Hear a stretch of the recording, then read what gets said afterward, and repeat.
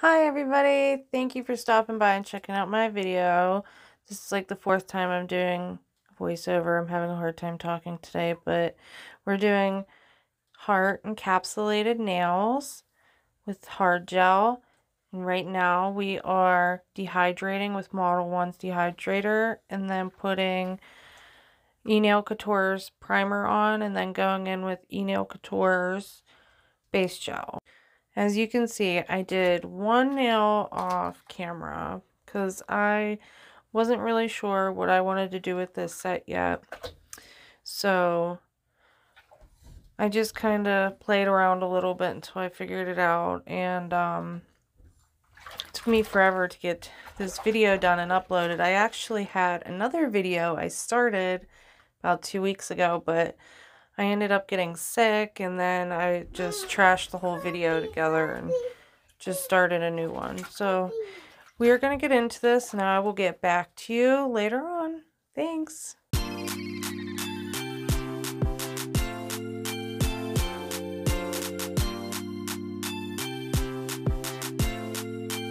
Okay, I'm back for a second. Now we got Modelones hot gel. I can't remember the number of this one, but it comes in a six-piece set, and you can buy them on Amazon. This is like their mermaid glitter.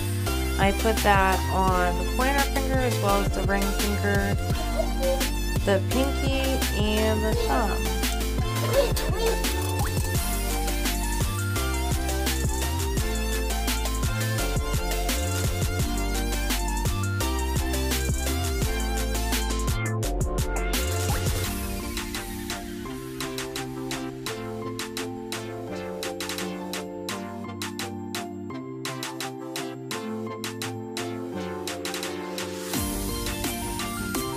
Hey guys, I'm back again. I'll be checking in and out throughout this video to let you guys know what products I'm using and what's going on. But right here, the heart glitters I'm using I got from Michaels. They actually came with two different colors in the pack. There were solid gold hearts and then there were these um, centerless pinkish, like mermaid shifting hearts. And then this product is from eNail Couture. It is called Souffle Cream Gel. It is a builder gel and it it is a very weird consistency. It does not self-level, so you really kind of have to work with it. It was really my first time using it, but I, I did really enjoy it, and I love the color. It's called Crystal Rose. It's very beautiful, and there is little tiny bits of glitter all through but I'll let you guys go so you can finish watching.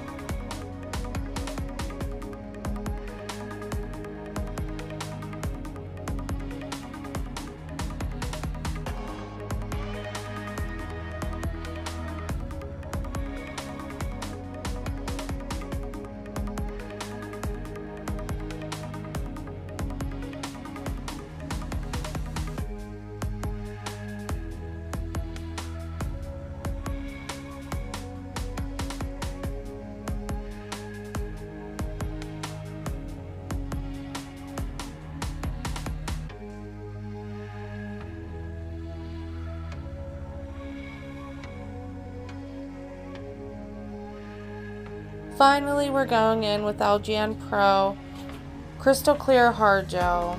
This is probably the best hard gel I have used so far, but honestly, I haven't tried a lot of brands. My next video, I will be getting in some new products from uh, Saviland and some eNail Couture, so we'll be checking them out, but here you go.